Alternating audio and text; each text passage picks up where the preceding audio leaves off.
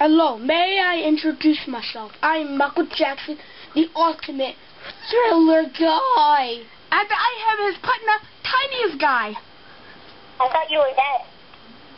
No! I dug him up. How did you dig him off?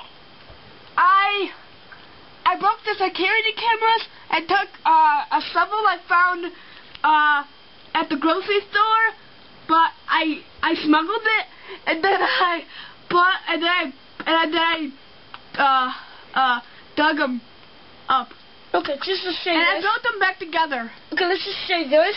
I was never dead. I faked it all the time. I'm tired of being famous this whole life, man. It's just annoying this time. But he suffocated. I had to do CPR. yeah, that was. Father! Talk to my dad. Yes, sir. I will give you one ticket. For one ticket, yes, you, you and your son don't get to the go to my concert. But guess what? You get to go in the back room with the FBI. Isn't that good, son? Uh, uh, um, this is kind of awkward. Um, who is this?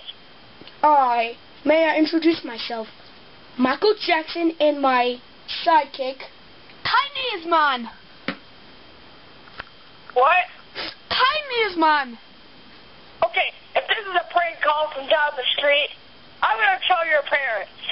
All right. I don't even know myself, so it's no prank call. Bye. Okay, okay, you scared me, so I'm just gonna hang up. Bye. I